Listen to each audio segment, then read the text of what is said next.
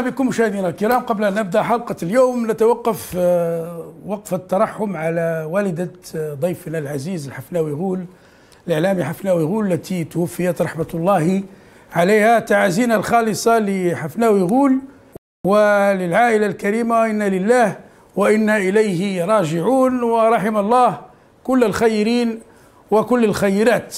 حلقة اليوم كان حفناوي غول يناقش معنا مثل هذه القضايا قضايا الإعلام. حلقة اليوم عنوانها الرئيس الجزائر الجديدة عندما يعتم الإعلام المغلق حتى على معاناة غلق الطرقات. نتوقف فيها عند واقع الإعلام. في الجزائر الجديدة بمناسبة الذكرى الثانية والستين لاسترجاع السيادة الوطنية على مبنى الإذاعة والتلفزيون من المستعمر الفرنسي.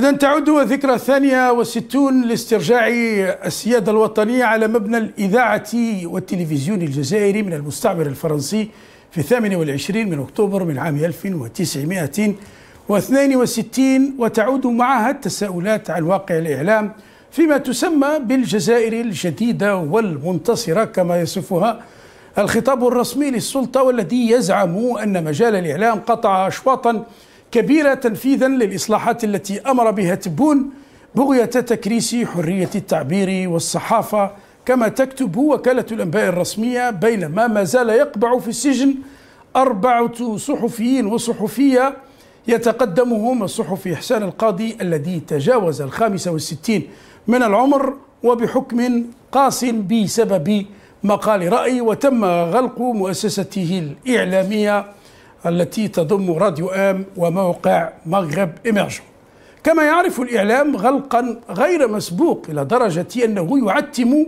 على تداعيات قرار غلق طرقات رئيسية لستة أيام في الجزائر العاصمة لتنظيم عرض عسكري وما خلفه من معاناة المواطنين. تخليدا للذكرى الثانية والستين لبسط السيادة على مؤسستي الإذاعة والتلفزيون نظمت اليوم بمقر الإذاعة الوطنية والتلفزيون الجزائري وقفة ترحم على أرواح شهداء الواجب الوطني الذين ضحوا من أجل استمرار الكلمة في الجزائر المستقلة. الوقفة حضرها ممثل عن المديرية العامة للاتصال برئاسة الجمهورية المدراء العامون لمؤسسة التلفزيون الجزائرية الإذاعة الوطنية ومؤسسة البث الإذاعي والتلفزي الأمين العام للمركزية النقابية إلى جانب الأسرة الإعلامية وإطارات وعمال المؤسستين. التلفزيون الجزائري والإذاعة الجزائرية مؤسستان كما كنت دائما أقول لم تولد بموجب بموجب مرسوم.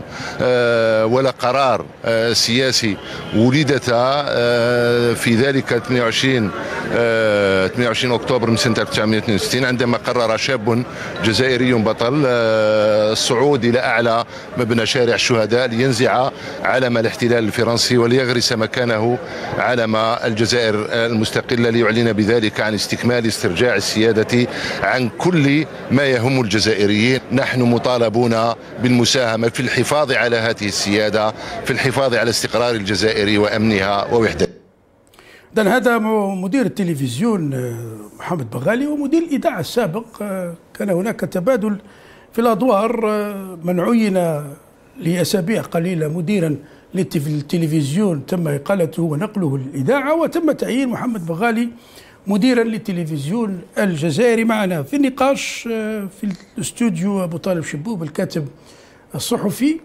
مرحبا أبو طالب.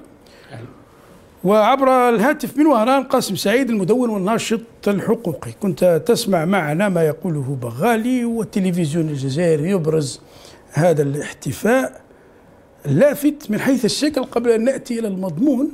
مطالب شبوب هناك غائب كبير محمد العقاب وزير الاتصال. غائب هذه المناسبة.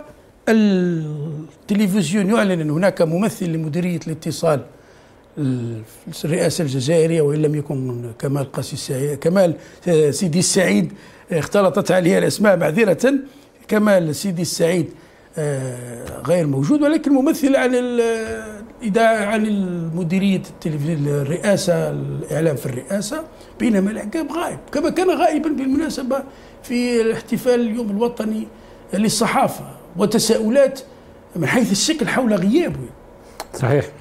آه، أولا نبدأ بالتعزية لأخينا حفناوي غول في وفاة والدته. عسى الله أن يجعلها من أهل الجنة ويلهم ذويها الصبر والسلوان. النقطة الثانية الوزير غائب منذ فترة عن المناسبات المتعلقة بالمهنة. لكن آخر نشاط سجل له كان يوم الأحد 27 أكتوبر عندما عرض الميزانية القطاعية لوزارته في لجنة المالية في البرلمان الجزائري ووقتها ما كانش عنده تصريحات غير ما صرحه يعني لم يصرح للصحافة وإنما صرح داخل اللجنة حول ميزانية القطاع نتاعو وقدم فيها أفكاره حول سنة 2025 لكن يتضح من التجاهل الرسمي له. يمكن الآن أن نستعمل هذه العبارة أنه الوزير في مرحلة كان لا يسيطر على قطاعه والآن القطاع نتاعه نفسه يتجاهل يعني. فيبدو وزيرا مبعدا متجاهلا بدون حول ولا قوة. يعني مسألة وقت فقط طبعا الحديث عن قرب إعلان حكومة جديدة وتبون قالها صراحة نمرر هذه الميزانية هذه الحكومة مكلفة بتمرير الميزانية وسيكون هناك يتحدث يتحدث عن كفاءات يعني مع أنه إذا تحدثنا عن الكفاءات نظريا العقاب ليس هناك من حيث الشهادات والاختصاص أكفأ من العقاب صحيح العقاب قياسا للعاملين في الإدارة الإعلامية لرئاسة الجمهورية هو أكفأهم من الناحية العلمية. لكنه مؤخرا يبدو متجاهلا وفوق هذا العقاب راضي بهذا التجاهل يعني. لا نرى أنه يقاوم يعني كأنه لا يريد أي شيء سوى البقاء في في المنصب. وهذا قد يكون ثمنه المزيد من الإهانات له من طرف آه، العاملين في خلية الإعلام في رئاسة الجمهورية. طيب حتى الذي قاسم سعيد قبل أن نسمع منك نتابع بالمناسبة في المقابل العقاب الذي يحث الإعلام على إبراز إنجازات آه، تبون والعقاب للتذكير آه، قبل أن يعينه تبون مدير الاتصال آه، وزير الاتصال كان مدير الاتصال لحملة تبون الانتخابات الرئاسية 2019 ثم عينه سيناتورا كان قبلها قبل إبعاده مستشارا في الرئاسة. نسمع ما يقوله العقاب. الرئيس غيبذل مجهودات جبارة. مجهودات خارقة للعادة خلاص كاع. من مسؤوليتكم من مهامنا إحنا كإعلاميين نوصلوها للمواطنين وندافعوا عليها. ونحارب هذيك الدعاية الدعاية المضادة الدعاية المغرضة الإشاعات لازم نحاربها. الرئيس يبكي كما في مجلس الوزراء على المواطنين وعلى الطبقة الوسطى يبكي عليهم. قاسم سعيد ما رأيك؟ أنت كمتابع وحتى كمدون لافت الذي يتابع صفحة آه، وزارة الاتصال على الفيسبوك آخر آه، تحديث لها و في 21 أكتوبر و وزارة الاتصال تعدي تعزي الإعلامي سالم زوابي رحمة الله عليه. كذلك نعزي عائلته بالمناسبة باسم والعقاب هذا آخر نشاط له. ثم الآن مختفي آه، العقاب الذي كنا نسمعه بالعكس يحث على إبراز آه، آه، إنجازات تبون. من حيث الشكل ماذا يقول هذا أيضا عن الإعلام عن وزير الاتصال في ما يسميها تبون الجزائر الجديدة والمنتصرة. آه، السلام عليكم ورحمة الله تعالى وبركاته. تحية طيبة للجميع. الحقيقة ما يحدث في الجزائر من غلق إعلامي وصحفي في الحقيقة لم يسبق له آه، مثيل في تاريخ الجزائر المستقلة. وما آه، وزير الإعلام أو غيابه كما تقولون إلا يعني من فيض في الحقيقة ما يعني الحالة التي وصل إليها الإعلام الجزائري من تردي. يعني حتى أن هذا الإعلام للأسف الشديد أبسط الأحداث ربما لم يعد يغطيها. يعني ك كاحتجاجات طلبة على سبيل طلبة الطب على سبيل المثال هو يعني خبر عادي جدا. يمكن أن يرد في أي جريدة أن هناك احتجاجات عاديه مثل ما كانت كان يردها أو يوردها الإعلام الجزائري في المرحلة البوتفليقيه هذا ما لم نجده حقيقة في الصحف الجزائرية. هي حقيقة هي متفقة. طبعا لكل جريدة وهذا شيء معروف خطها الإخباري ودفتر شروطها وإيديولوجياتها. ولكن أخبار كهذه التي تمتنع فيها الصحف والمواقع الإلكترونية عن نقلها وعن نقل هذه الاحتجاجات وتطلعات الشعب الجزائري. فهذا شيء مؤسف للغاية. في الحقيقة هذا إن دل على شيء أخي الكريم فإنما يدل على التعمد على عدم إعطاء صورة أو اعتقاد لدى المواطن الجزائري أن هناك رفض من طرف فئة معينة والذي من شأنه حقيقة أن ينقل ان صح القول عدوى الاحتجاجات إلى قطاعات أخرى. فهي طبعا سكوت هؤلاء الصحفيين نتيجة لتعليمات وهذا شيء مفروغ منه. طبعا هذا الصمت المهيب الذي لم نعتده في السابق. للأسف الشديد. اذا هي تريد هذه السلطة أن تعود الناس أو المواطن الجزائري على السكوت على الصمت أمام الظلم على عدم إيراد أي خبر يعني حتى على مواقع التواصل الاجتماعي الآن من يقوم بتغطية هؤلاء المواطنين ربما الهواة تغطية ربما صحفية ان صح القول حول حدث معين واحتجاجات معينة وعمل لايف سيجد نفسه متابع قضائيا. اذا الخلاصة من كل هذا هو الكل الأمني في كل القطاعات ليس فقط في في قطاع الإعلام الجزائري. في الحقيقة يبدو أن الجزائر قد تراجعت تراجعا رهيبا.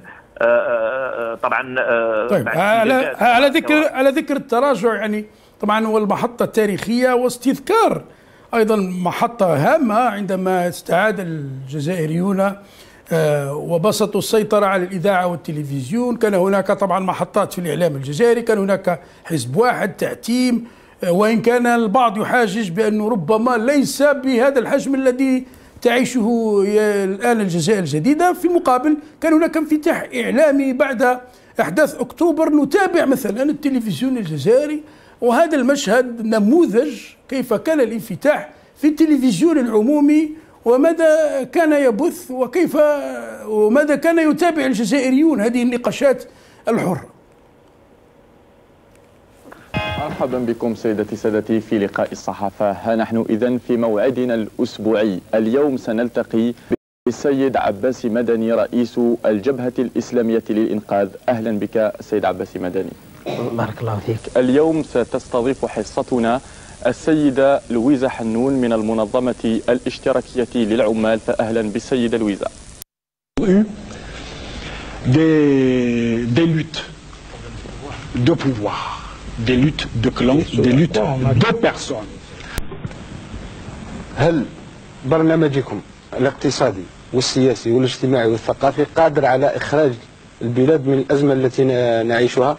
بيان سور لأن إحنا البرنامج نتاعنا الاقتصادي عندنا المدى القصير المهم هو هنا ما يجوز لي لا يجوز لك المسؤولين نتاعنا كلهم راحوا من ثلاث سنوات هما في اوروبا والغرب نرحب اذا بضيفينا السيد عبد الحميد مهري الأمين العام لجبهة التحرير الوطني والسيد عباسي مدني رئيس والناطق الرسمي للجبهة الإسلامية. بطالب شبوب هذا كان في 1990 نحن في 2024 يعني بعد 24 سنة نحن نتوقف طبعا اليوم ذكرى 62 سنة استرجاع الإذاعة الجزائرية والتلفزيون الجزائري. 24 أو 34 سنة بالأحرى مرت على تلك الفترة. وأي أي مشهد تقدمه الجزائر الجديدة في المقابل نعود نرجع للظهور الأخير لوزير الإعلام اللي كان في في البرلمان. وكان يتحدث على خطة 2025 يفترض أن هذه الخطة تشمل تسهيل عمل الصحفيين الحديث عن الحريات أشياء من هذا القبيل. لكن كيف يتصور الوزير 2025 الوزير ما تحدثش أصلا على توسيع هوامش العمل الصحفي. جاء حكى لهم على بطاقات الصحفيين قال لهم هذه السنة حسب ما ورد في جريدة الشروق وما ورد في منصة أوراس حكى لهم أنه في ميزانية 2025 رانا مخصصين 12024 مليون دينار لبطاقة الصحفي. أنا حسبتها هذه آه تقريبا 89 مليون دينار 89 مليون دولار. إذا حسبنا عدد الصحفيين في الجزائر الرئيس يقول 8000 نزيدوا له 500 من عندنا تولي 8500 صحفي.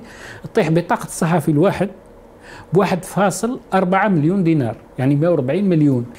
إما أنه الشروق والأوراس أخطأوا في إيراد الرقم أو أنه هذه حالة فساد معلنة يعني. ما كانش بطاقة في العالم ب 141 مليون آه، سنتين. بالعكس هنا في بريطانيا لكي تحصل على بطاقة الصحفي تلتحق بنقابة الصحفيين وتدفع اشتراك سنوي ممكن تدفعه شهري وتحصل على بطاقة بطاقة الصحف. يعني لا هيئة لا, لا هيئة حكومية ولا هم يحزنون. نعم. منظمات النقابية التي تعطي آه هذه البطاقات. نعم لكن الآن ما الذي تقوله لنا هذا الخرجة نتاع الوزير؟ وخرجت السابقة لما كان يتحدث أنه من واجبكم إبراز مجهودات الرئيس والتصدي للخطر الخارجي. هو لا يفهم الصحافة رغم أنه درس الصحافة هذا الإشكال. وألف كتبا وألف عن, كتبا. الصحافة وكيف الصحفي المحترف وغيرها. هو لا يفهم الصحافة على أن جوهرها هو الحرية. أن تطرح الأسئلة هذه هي الصحافة. أنت لا تريد صحافة من هذا النوع. أنت تريد صحافة تحكم السيطرة عليها كلاب حراسة يعني حاشا كل زملائنا طبعا أنا نتحدث عن الفكرة نتاع الوزير. طبعا هذا مصطلح آه، يعني أطلقه فيلسوف فرنسي على كل الذين يحرسون المؤسسات الحاكمة يعني. إيه هو هذا وش يتصورها؟ يعني يحرضهم على هذه الجهة أو تلك الجهة ينطلقوا في الشتم دون أن يقدموا حتى محتوى علمي يعني لما جيت تحكم التلفزيون الوطني. من الطبيعي أنه عنده اختلافات كأي دولة مع دول واحدة أخرى. مع الإمارات مع المغرب هذه الاختلافات طبيعية لماذا؟ لأنه عندها أسبابها في تضارب المصالح وعندها أسبابها التاريخية لكن كيف نعالجها؟ إحنا اللي رانا نشوفوه في أداء التلفزيون الوطني هو شتائم وعمره ما وصل التلفزيون كنا نتابع بالعكس كان في المغرب وتونس كانوا يغبطون الجزائريين اللي على الحدود يشوفوا هذه الحوارات في التسعينات الان التلفزيون الجزائري وسائل الإعلام الجزائرية مهتمة مثلا بالإضرابات إضرابات الطلبة في المغرب بينما تعتم على إضرابات الطلبة طلبة الطب في آه، في الجزائر بينما الإعلام في المغرب يعالج هذا الموضوع فيه تجاوزات يطرح في البرلمان وغيرها. ماذا يقول هذا أيضا يعني؟ يقول أنه يريدون صحافة بدون سياسة. يريدون صحافة بدون أسئلة. يريدون صحافة لا تطرح المشكلات. لما نحو من الصحافة المشكلات وال والأسئلة ما الذي يبقى من الصحافة؟ يبقى مجموعة من الموظفين. وبالمناسبة حتى الموظفين لا يبدو أنه هناك وزارة اتصال عندها صفحة على الفيسبوك. تتابع آخر آخر تحديث لصفحة الفيسبوك 21 أكتوبر. 21 معناها معناها العقاب في في خبر سيكون يعني ولن يكون يعني. الإشكال وين راه؟ آخر نشاط للوزير. كان نهار الأحد. صفحة الوزارة ما غطاتوش. و... آه ما معناها معناها طالب شبو معناها واضح أنه لن يكون وزير الاتصال مؤشرات واضحة في الحكومة المقبلة التي يبحث لها تبون عن الكفاءات بالمناسبة. الله أعلم ولكن لما تشوف الصفحة لا تغطي الوزير وتعود ترجع الميزانية اللي طرحها الوزير. الميزانية اللي طرحها الوزير قال في البرلمان أنه فيها 2.42 مليار دينار كاتصال مؤسساتي يعني حوالي 18 مليون دولار. دوك هذا الاتصال المؤسساتي أنا ما فهمتوش. إذا كان إذا كان هذا الاتصال هذا لا يغطي الوزير نفسه وين يروح؟ يعني إحنا كمؤسسه بالمناسبة كان اقترح بأنه يجب دعم المؤثرين. هذول الإنفلونسرز في الانتخابات الرئاسية كنا ناقشناه لدينا حتى تصريح له في حينها أنا أني ماشي معك. أنت في ظرف سياسي صعيب وحاب كل الجزائريين يوقفوا معك. جميل جدا. باش يوقفوا معك نقطة القوة هي حريتهم في الحركة. إذا أنت تقيد حقهم في الوصول إلى المعلومة. اي نتخيلوا أنت جمال ولا واحد مؤثر في في الجزائر ولا واحد صحفي ولا واحد كاتب راح للحكومة قال لهم أعطوني الأرشيف نتاع جلسات مجلس الوزراء حاب ندير فيديو ولا حاب ندير وثائقي أنصر فيه رأي الجزائر في القضية الفلانية ولا القضية الفلانية. الجواب هو ما كانش. ما اعطولكش الحق في هذا الأرشيف. إذا أنت ما تعطينيش الحق في أن أصل إلى المعلومة التي أساعدك بها.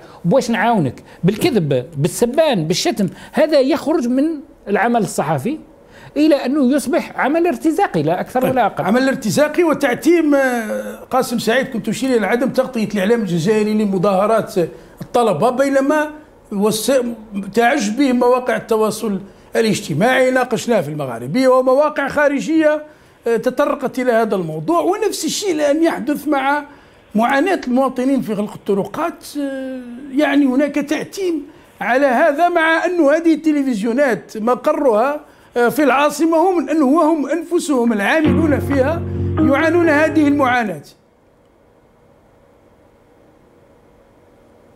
قاسم سعيد؟ نعم نعم أسمعك. تفضل.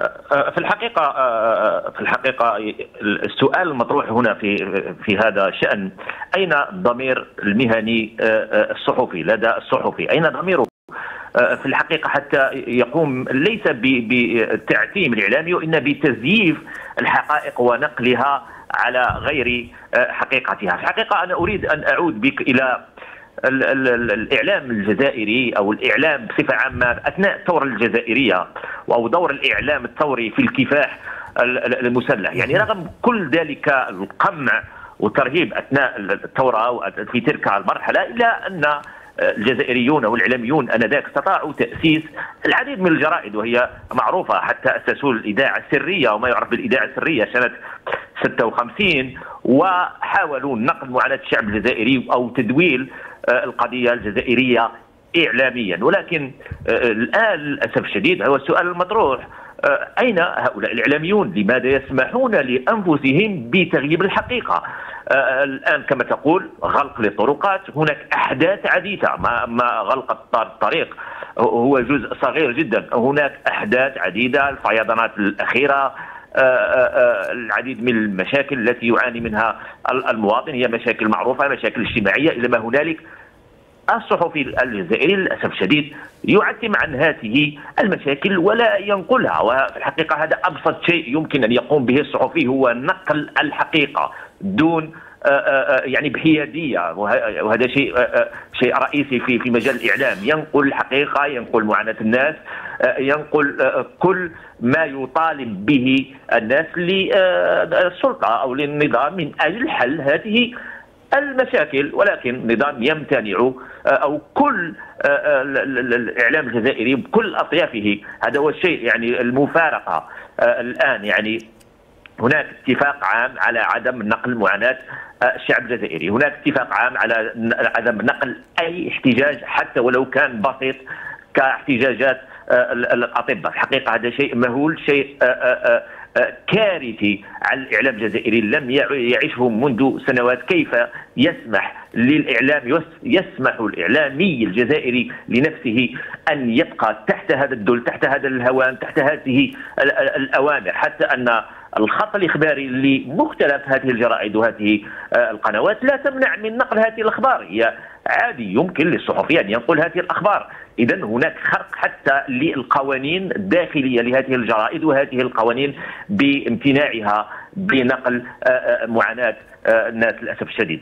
طيب، وأشرت إلى الجانب التاريخي طبعا كان هناك صحافة صحافة جبهة التحرير الوطني التي كانت تسمع صوت الجزائر وإن كان طبعا هناك جدل مثلا صحيفة المجاهد حينها نشرت على صدر صفحتها الأولى أنه آه، عبان رمضان استشهد في آه، ساحة الشرف بينما هو اغتيل من قبل بطريقة بشعة من قبل زملائه. ولكن اليوم الحديث عن استرجاع أو بسط السيادة على تلفزيون آه، وإذاعة في 62 كانت تابعة للاستعمار الفرنسي وكانت تمارس أيضا التضليل والتعتيم والتشويه لنضال الجزائريين ولجهاد الجزائريين آه، حينها. ألم يكن بالعكس بدلا من التشبه بممارسات التعتيم التي استمرت والتشبه بممارسات المستعمر أنه الإعلام الجزائري بالعكس يعتبر من ما كان يقوم به الإعلام المستعمر ويكون في مستوى تطلعات الجزائريين وتضحيات الشهداء من أجل جزائر المفروض يقول فيها الجزائري الحقيقة ومن حقه أن يعرف الحقيقة يعني. نعم للأسف الشديد وهذا ما شهدته الجزائر بعيد أو حتى بعد الاستقلال وطبعا سياسة الحزب الواحد التي طبقت سياسة ما أريكم إلا ما أرى للأسف الشديد و طبعا الخط الإخباري الواحد والفكرة الواحدة ومن ينحرف عن هذا المعيار. قد يجد نفسه في في سجن. طبعا بقيت هذه الحالة لسنوات حتى 1988 وما يسمى بالانفتاح آه، آه، السياسي طبعا أو انفتاح الإعلامي. الحقيقة الجزائر منذ استقلالها لم تشهد تغيرا آه، بعد الاستقلال ابدا وإنما السلطه آنذاك نهجت نهج الاستعمار وفقا لأجندات سياسية للنظام آنذاك من أجل البقاء في السلطة بشكل الفردي أو الفردية أو الأبوية آنذاك والمضي الأمام وسياسة الهروب الأمام إلى غاية الاحتجاجات الشعبيه التي أو التي آه، آه، آه، خلقت ما يسمى بالتعددية الحزبية للاسف الشديد التي لم تعمر طويلا فقط لبضع سنوات سرعان ما يعود الأمر كما عليه. ولكن فقط تلك السنوات وبقى بصيص من الأمل أو بصيص من حرية التعبير يمكن للمواطن أو للصحفي الجزائري أن يعبر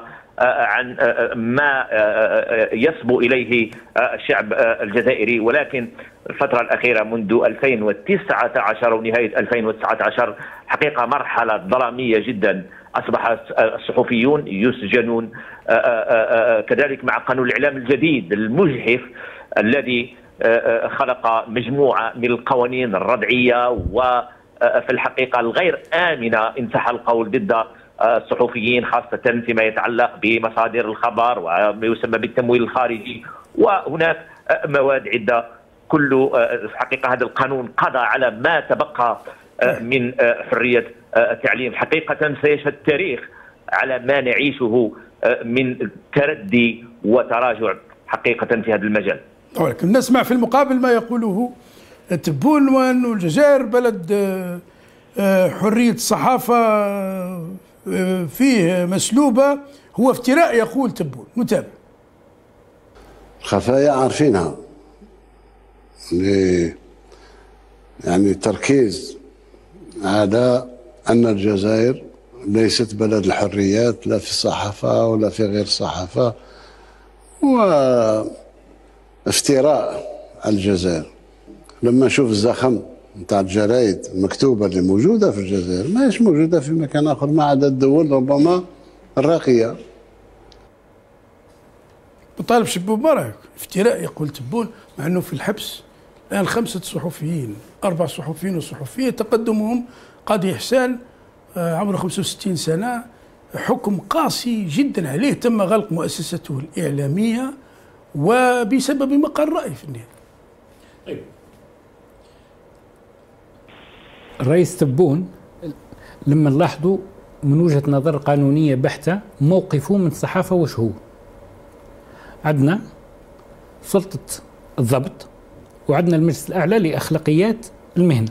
هذو الهيئتان اللتان تراقبان الصحافة سلطة الضبط نتاعو لأنه يعني هو من من يعين فيها والمجلس الأعلى لأخلاقيات المهنة مكون من 12 عضو يعين الرئيس منهم ستة بينهم رئيس. يعني رئيس المجلس يعين رئيس الجمهورية. ويضاف إليه خمسة أعضاء. يعني قانونيا عنده في صفه ستة من 12 الآن وش يبقى؟ يبقوا ستة يفترض أن ينتخبوا من الصحفيين والناشرين. اثنين منهم هم تاع الناشرين. الناشرين الاعتماد نتاعهم عند من يكون؟ يكون عند وزارة الإعلام. وبالتالي الوزارة ومن خلفها الرئاسة ضامنين انه الاثنين اللي ينتخبوا من الناشرين هم نتاعهم. إذا ساءت ظروف المهنة تماما راح يطلعوا لك أربعة مشاغبين في مجلس أخلاقيات المهنة. ضدهم ثمانية تاع رئيس الجمهورية. عندما تتحدث عن حرية الصحافة أنت بنص القانون تملك القدرة على السيطرة على ثلثي المجال الصحفي بفضل هذا المجلس الأعلى لأخلاقية المهنة الذي تسيطر عليه تماما. ولكن وحتى حتى هناك وزارة الاتصال وهو يزاحمها مديرية الاتصال كمال سيدي السعيد الذي ينصب آه، مدراء التلفزيون والإذاعة. وفي فترة قصيرة مدير تم تعيين مدير التلفزيون لبضعة أسابيع عشية الانتخابات الرئاسية ثم أقيل مباشرة بعد إعلان النتائج وعين في الإذاعة وتم نقل مدير الإذاعة محمد بغالي إلى التلفزيون. إيه هذا هذا ما يحدث عندما يكون هنالك حالة من العبث تسيطر على الآن إذا حكمنا الرئيس نفسه على التعهدات اللي قدمها لنا في ميدان حرية الصحافة. كان تحدثنا على ترشيد الإشهار. السؤال هل يعرف الجزائريون الإشهار العمومي شحال قيمته؟ وكيف صرف؟ وهذه معلومة بسيطة ليست سرا حربيا يعني. يفترض أنه أول ما يخبرنا به الرئيس هو هذا الرقم. أول ما يخبرنا به وزير الإعلام هو هذا الرقم. ولكن الآن هذا حتى الإشهار العمومي لم يعد بيد وزير الاتصال أصبح بيد مديرية الرئاسة في منشور غير في مرسوم رئاسي غير, غير منشور, منشور. أنا أنا جايك أنا جايك لهذه النقطة. النقطة الثانية عندك ترشيد الإشهار لحد الآن ما أعطيتوناش الرقم تاعو قلت لنا بلي كاين دعم للصحافة الإلكترونية. بشحال دعمته ومن هي الصحافة الإلكترونية؟ التي دعمتموها. إحنا نعرف عندنا زملاء يشتغلوا في الصحافة الإلكترونية. بعض المواقع في الصحافة الإلكترونية توشك على الغلق. طيب وراه دعم الصحافة الإلكترونية؟ كنتوا وعدتونا بالحرية المسؤولة. وراها الحرية لأنه هذا الوعد فيه حرية وفيه مسؤولة. الحرية ما كانش. لكن المسؤولين بكثرة وقاعدين يتضاربوا. لأن المسؤولين بكثرة وقاعدين يتضاربوا. يحدث مثلا في وزارة الإعلام في يوم 17 أكتوبر الماضي وزارة الإعلام يفترض إذا شفنا المناشير المنشورة نتاع أو المراسيم المنشورة أنها ما زالت تسيطر على التلفزيون. لكن وزير الإعلام يوم 17 أكتوبر لما عمل ندوة آه، عمل وقفة بمناسبة ذكرى 17 أكتوبر عيد الهجرة من كان معه في هذه الوقفة في وزارته. يفترض تكون معه كل الأجهزة التابعة له.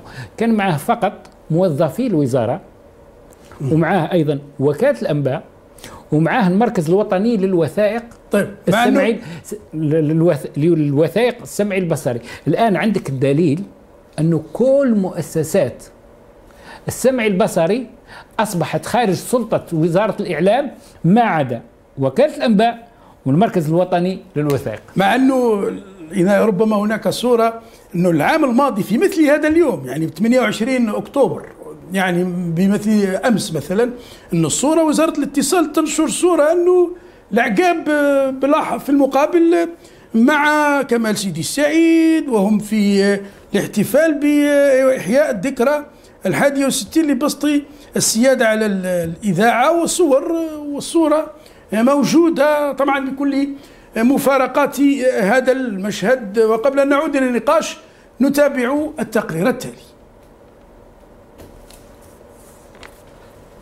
الصورة هذيك العام اللي فات. إيه.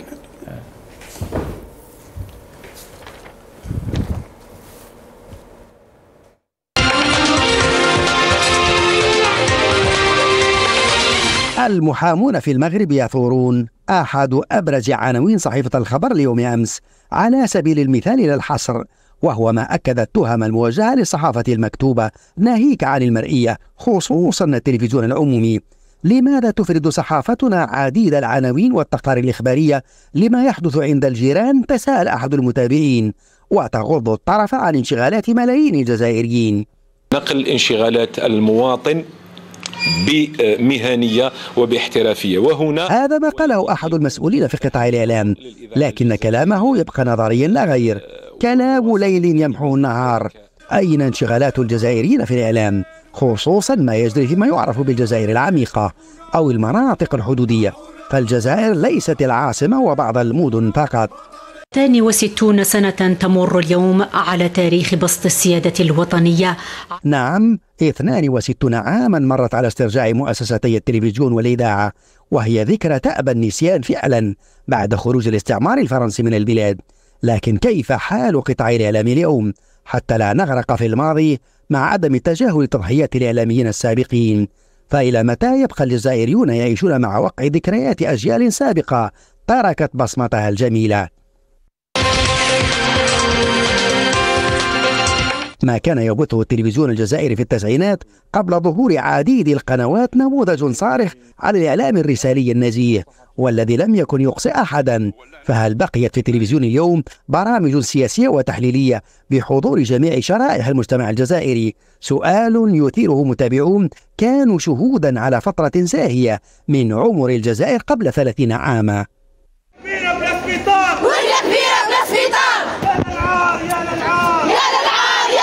ما يحدث في عديد الكليات بمختلف الجامعات الجزائرية يصنع الحدث فعلا. فهؤلاء الآلاف من طلبة الطب لم يجدوا في التلفزيون العمومي دقائق بل ثواني للحديث عن احتجاجاتهم المستمرة. وفي مقابل ذلك وهو ما حير كثيرين أن التلفزيون سلط الضوء على مظاهرات الطلبة الأطباء وأطباء الأسنان. لكن في المغرب وليس الجزائر وبالتالي فإن كل من الرباط والدار البيضاء صارتا أقرب إلى التلفزيون مما يحدث في الجزائر العاصمة ووهران وعنابة وغيرها من المدن الجزائرية. آه، مدراء المؤسسات الإعلامية العمومية والخاصة ومجموعة الصحفيين بأن نضع اليد في اليد للنهوض بهذا القطاع الحساس. اختفى وزير الاتصال محمد العقاب عن الأنظار ولم يظهر له أثر منذ فترة وأصبح تداخل المهام وتضارب الصلاحيات بين لجنة الإعلام لدى الرئاسة والوزارة أبرز العناوين. وبذلك تبخرت شعارات مرحلة ما بعد رئاسية سبتمبر وما أكثرها الإعلام المستقل وإعلام الاحترافية والمهنية. قاسم سعيد يعني هل يمكن من هذه الممارسات أن تمر هكذا على الجزائريين في 2024 والذي يتابع مثلا تعليقات الجزائريين على التلفزيون أو أذرع إعلامية أخرى مثلا عندما يعتمون على إضراب الطلبة طلبة الطب في الجزائر ويبرزون ما يحدث في المغرب. يعني يعرف أن الجزائريين تعليقات بين الساخر وبين الناقد ومن يقول لهم لماذا تعتمون على أخبار الجزائر وتبرزون أخبار الجيران. الحقيقة نعم الحقيقة قبل أن أجيبك على هذا السؤال الحقيقة الحقيقة فقط أعقب على قضية أو إضافة لما قاله ضيفك فيما يخص مجلس أخلاقيات المهنة، الحقيقة ما صدر في الجريدة الرسمية قبل أسابيع أصبح هذا المجلس يسمى بمجلس الآداب. يعني لا أدري هذه الكلمة هل هي في محلها أم لا أصلا. مجلس الآداب آه، وأخلاقيات المهنة، الحقيقة هذا المصطلح أنا أعتقد أنه غير في محله أو يعني غير أو غير في يذكر بشرطة الأداب يعني. بكل ما له من إحالة يعني. أكيد لأنه يثير نوع من الحساسية كيف لهذه اللفظة أن ترد في الجريدة الرسمية وفي آه، آه، ما يسمى بمجلس أخلاقيات المهنة والآداب كما كما يقال. بالنسبة ل وربما ربما الأرجح هذا هذا قراءتي. أنا الأرجح قاسم سعيد أنه ترجم من الفرنسية ترجمة حرفية. ربما ربما. ولكن آه، ولكنه هناك باللغة العربية من المفروض أن لا تقال مثل هذه الكلمة. الخادشة ان صح القول بالنسبة للصحفيين ولكن الصحافة في الجزائر واغلب الصحافة أو أغلب الصحفيين في الجزائر حقيقة الجرائد على رأسها لا تستطيع دفع ثمن الطباعة حتى يعني أصبحت السلطة تمن دائما وتردد نفس الكلام في فيما يخص بقضية الإشهار والإعانات المالية وإلى ما هنالك. أعتقد أن نعتقد أن الأمر آه، آه، آه، يجب أن يكون هناك إصلاح سياسي ومن ثم يتبعه إصلاح إعلامي. ما لم يكن هناك إصلاح سياسي لن يكون هناك إصلاح إعلامي وتطور إعلامي ان صح القول. أعود إلى الحقيقة إلى سؤالك و قضية التعتيم والصراعات بين النظام المغربي و الجزائري دائما آه، أصبح التلفزيون الحكومي آه، آه، هذا ما نشهده يعني يتناسى عيوبه وعيوب أو ما يجري من مشاكل في الداخل الجزائري ويبرز دائما تلك الصور لعل هناك مشاكل في المغرب. لا أدري هل الشعب الجزائري يهمه ما يجري في المغرب؟ والعكس صحيح تماما. في الحقيقة تعليقات ولكن على مواقع ولكن التواصل في هذا الصدد هناك من قال بأنه مثلا هناك في الإعلام الخاص المغربي طبعا هناك مثل الإعلام الخاص في الجزائر أنه حروب وغيرها ولكن أن يصل الامر التلفزيون الجزائري هناك من قال هذا يسيء اولا حتى للبلاد للجزائر يعني لا يليق بأنه يكون القنوات الرسمية وكالة الأنباء الجزائرية الرسمية أو التلفزيون الرسمي أن يخوض في فيما يخوض يعني ناشطون في فيسبوك مثلا أو بلغة الفيسبوك. أكيد أكيد أخي الكريم لأن هذا الأمر أصبح فاضح آه، آه، للغاية وغير مشرف تماما. ودليل على ذلك تعليقات الذين رواد مواقع التواصل الاجتماعي في الحقيقة احسن دليل من كم هائل من التهكم والسخرية على تلك الأخبار التي آه، تنقلها. ليس فقط التلفزيون الحكومي الجزائري وإنما القنوات الخاصة حتى هذا الكم الهائل الذي لا يعد ولا يحصى. هذا يدل على شيء يدل على أن آه، هناك طبقة واعية و يعني تعرف ما يدور في الكواليس من هذا التعتيم الممنهج في داخل الجزائري للأسف الشديد. أنا أعتقد أن أن الآن الإعلام الجزائري يعيش ردة إعلامية آه، كبيرة جدا لم يسبق آه، لها مثيل. في الحقيقة أنا أعتقد لن تتكرر في المستقبل. آه، أن الإعلام يعيش ظلمات يعني لم يعيشها من قبل كذلك. وطبعا يجب على الصحفيين أن ينفضوا هذا الغبار عن أنفسهم وأن يكونوا قوة ضد آه، القمع والديكتاتورية وتكميم الأفواه المسلط آه، ضدهم وعدم الاستكانة لتلك الإملاءات الغير قانونية آه، حقيقة التي تمارس ضدهم. أبو طالب شبوب هل هل هذا الوضع صحيح هل يخدم البلاد عملية الغلق والكتم؟ أليس أليس هذا الضغط يولد بالعكس الانفجار يعني؟ يعني حتى السلطة في الحزب الواحد وكانت هناك نوافذ للانتقاد يعني مثلا صحف الجيري اكتواليتي حتى في الإعلام المعرب حينها بعض الصف بعض المقالات التي باستطاعتها أن تقول أنه تحذر من الوضع ليس على ما يرام هل هذا الوضع صحي؟ هل هو علامة قوة بالعكس علامة ارتباك يعني؟ عادة الصحافة والأحزاب تسمح لك بأن تكون عندك نظرة حول ما سيحدث أو ما يحدث داخل المجتمع. هي مجسات تاع استشعار. لما تجي أنت تسكر على الصحافة وتسكر على الأحزاب الغضب داخل المجتمع لن يتوقف لكنك باختيارك ماكش قاعد تشوف فيه. وش الفرق بين الحالتين؟ لما تكون تشوف الغضب داخل المجتمع عندك الوقت وعندك الإمكانيات أنك تصلح الوضع. لما أنت تسكر البيبان وتعمي عينيك عما يحدث داخل المجتمع الانفجار الجاي نتاع المجتمع لن تراه قادما راح يفاجئك. الخطة اللي دايرها تبون بإغلاق كل شيء من أجل تفادي الانفجار الاجتماعي هي الخطة الوحيدة التي تقود إلى انفجار اجتماعي مؤكد. وكل ما يقوم به الرئيس من بهلوانيات في التعامل بالصحافة مع الصحافة لا ينفع. يعني الرئيس يحبس الصحفيين وفي المقابل يدير مدينة إعلامية. هذه الفكرة هذه تنتقل إلى من هم دونه يعني والي الجلفة حبس بدر الدين قرماط. وبعد باش يحسن السمعة نتاعو دار ندوة للصحافة الإلكترونية. هذا لن يحسن الوضع. نصيحة للرئيس تبون والعقاب لنعتبره زميلا. الذي سينقذكم. هو الصحافة الحرة. عندما تدخلوا في حيط اللي راح ينصفكم هو الصحافة الحرة. هل هل هم في حالة إنكار؟ حالة جزائر موازية يعيشون فيها في عالم آخر؟ يعني قرار آخر قرار هذا غلق الطرقات بكل ما له من معاناة على المواطنين وحالة الاحتقان الرهيبة وتنكيد حياة المواطنين وبدون اعتبار. وفي وفوق ذلك يتم التعتيم على آهات المواطنين الجزائري. طبعا هم في حالة إنكار وأسوأ من هذا اللي يحصل لهم أنه أي سلطة يكون عندها الذباب نتاعها. بصح السلط العاقلة تفهم جيدا بين ما هو خطاب ذبابي وبين ما هو واقع. إحنا اللي حاصل عندنا إنه الرئيس تبون صدق الذباب الذباب هذه وسيلة دعائية. إذا وصلت أنت تصدق الذباب يعني يطلع رئيس الجمهورية يقول لك إحنا قوة ضاربة. يا رجل أنت لو تابعت الأرقام التي يصدرها البنك الوطني ستكتشف أنك ماكش قوة هل هل هو الذباب أم أنه المحيط أيضا؟ ويعني حالة ارتباك سلطة ترد يعني.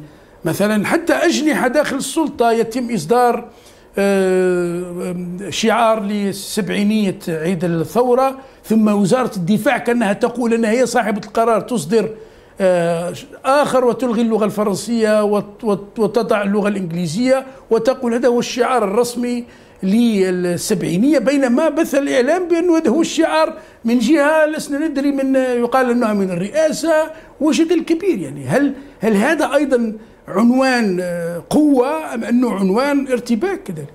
لا تبون بعد أن انفصل عن الواقع. لأن يثبت للجميع أنه وحدة النظام غير قائمة. لما يتحدثوا الناس على صراعات. تجي السلطة تكذبهم مثل هذه التفاصيل الدقيقة هذه تكشف لك عن وجود صراعات. وتكشف لك أنه هذه الذهنية التي تسير البلد اللي حابة تسكر على كلش وين راح تدي البلاد؟ راح تدي الحي طيب ما ماذا في المقابل؟ بالعكس هناك من يبرر هناك استعراض عسكري هذا يؤكد قوة الجزائر ولا يهم هذه ذكرى عزيزة ويجب الاحتفال بها وعلى الجزائر أن يصبروا مسألة وقت فقط. هناك إجراءات أمنية من أجل الاستعراض العسكري ولهذا تم غلق العاصمة لستة أيام وقبلها آه، إلغاء رحلات لخطوط الجوية الجزائرية بكل ما لذلك من تكلفة يعني غلق الطرقات وإلغاء الرحلات. ما في حتى إشكال لما تحب تعمل استعراض عسكري ما في حتى إشكال. الجزائر فيها أماكن تقدر تعمل فيها استعراض عسكري. عندك ملعب خمسة جويلية كبير. تقدر تعمل فيه اجمل استعراض عسكري وبحضور بحضور الجماهير من اجمل ما يكون. عندك الملاعب الجديدة تقدر تعمل فيها استعراضات كما حبيت تعملهم خارج المدينة لكن ما تقدرش نتايا. تحدث لي على نمو اقتصادي وعلى مؤسسات قافزة وعلى حركية اقتصادية كبيرة وانت قادر تسكر العاصمة لمدة أسبوع. لذا عندك اقتصاد ما تقدرش تسكر العاصمة. إذا سكرت العاصمة معناه ما عندكش اقتصاد. أنت تكذب تكذب نفسك. اثنين ما الذي ستستعرضه؟ وخلينا هنا نحطوا نقطتين. وجود جيش قوي للجزائر هو ضرورة استراتيجية. إحنا في منطقة لا ترحم تغفل ياكلوك. وتاريخ الاستعمارات التي مرت على بلدنا الروماني والبيزنطي والولدالي وصولا إلى الفرنسي كلها تثبت أنه إذا ضعف جيشك تم أكلك. فوجود جيش قوي هو ضرورة للجزائر. وإحنا مع كل ما يخدم من قوة هذا الجيش. لكن السؤال الذي أريد أن أطرحه معيار قوة الجيوش واحد لا أكثر ولا أقل. عندما تستعرض اسلحتك كم صنعت منها؟ الامريكان لما تقول إحنا جيشنا قوي صنع أسلحتها. وفوق ذلك لماذا يتم يعني على الجزائريين؟ وهناك مشاكل ومحاولة إعطاء صورة. لا الأمور على ما يرام.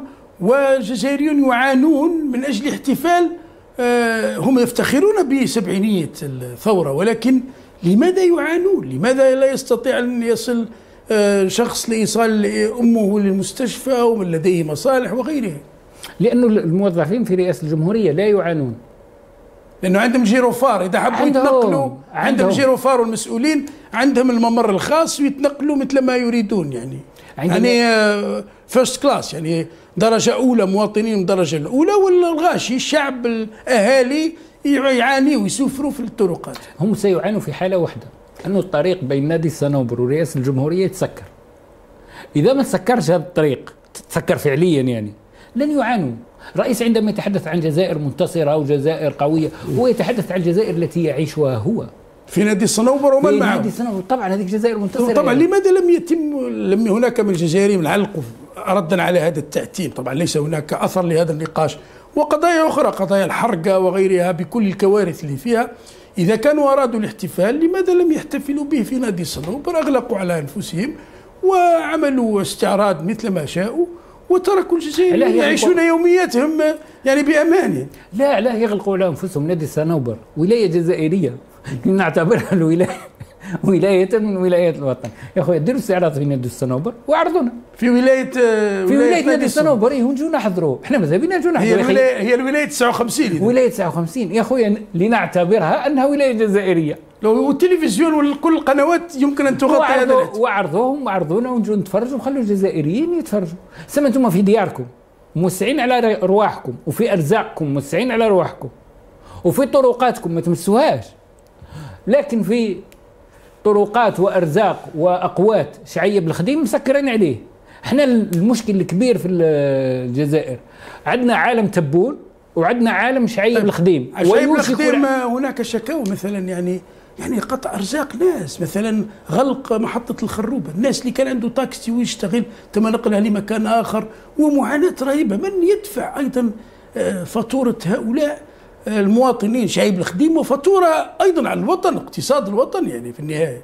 لو اضيف إلى ذلك فشل النقل العمومي. يعني تتذكر أنت في تنصيب ملك بريطانيا إعاقة للنقل في منطقة قريبة من موقع الاستعراض. ولكن العاصمة نفسها لم تتعرض للاهتزاز. لماذا؟ لأنه عندك شبكة نقل عمومي قوية. الأيام هذه اكتشفوا الجزائريين إنه خدمات النقل العامة من أردأ ما يكون ما تكفيهمش وبالتالي عندما تقرر أن تغلق العاصمة أعطينا البديل. لما ما تعطي لهمش البديل راح يخرجوا من رحمة ربي. اليوم سكتوا ولكن غدوة يأكلوك. على الرئيس والعقاب ومن معهم أن يكونوا حذرين ويتقوا الله في أنفسهم وفي الجزائر. مطالب شبوب الكاتب الصحفي شكرا جزيلا لك. شكرا كذلك لقاسم سعيد المدون والناشط الحقوقي كان معنا من وهران عبر الهاتف شكر موصول لكم مشاهدينا الكرام. على حسن المتابعة وإلى اللقاء.